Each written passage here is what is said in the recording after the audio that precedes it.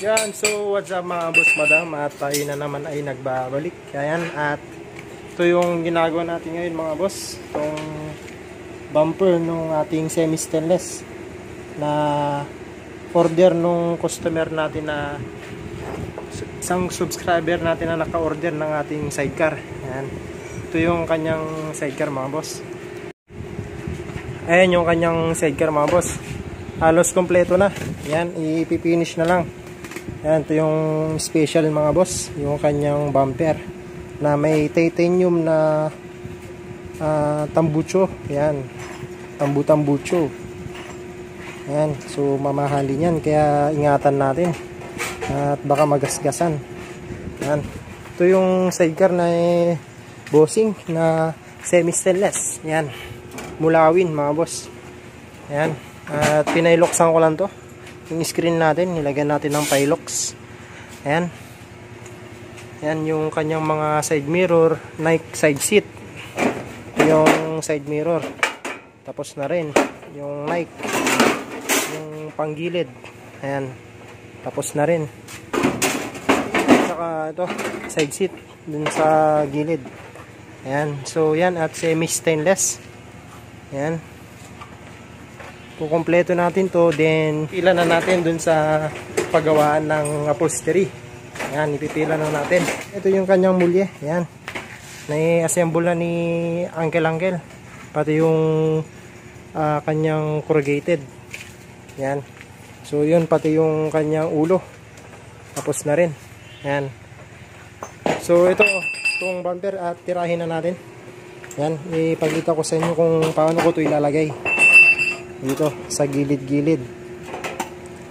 Yan. Sa gilid-gilid. Tsaka dito yung triangle na ilaw. Dyan. So tara mga boss.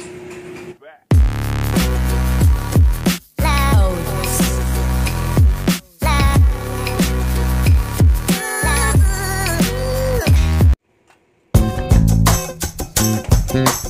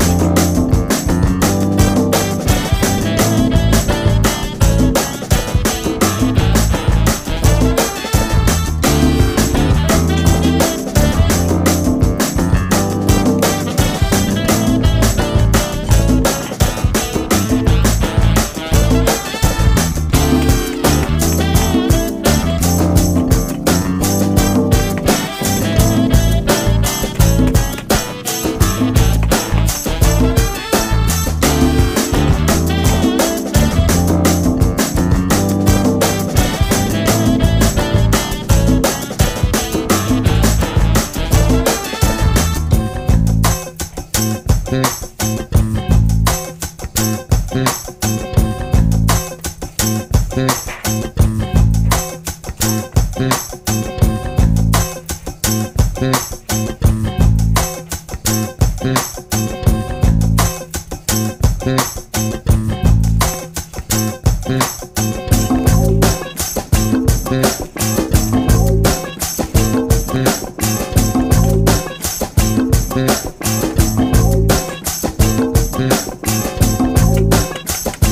Mm-hmm.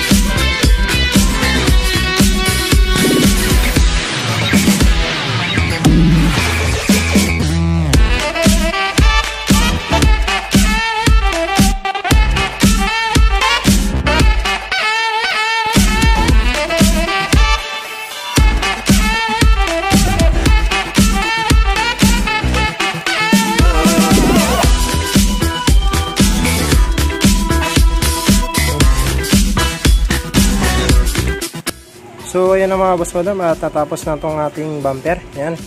Ihuli na lang natin yung kanyang ilaw. Kasi naka-order pa lang tayo. Padating pa lang yung order nating ilaw. Yung ating triangle. Ayan. So ayan. At nailagay na natin. Na-welding na natin. Na i-fix na yung titanium na tambucho mga boss madam. Ayan. Sa likod. Ayan.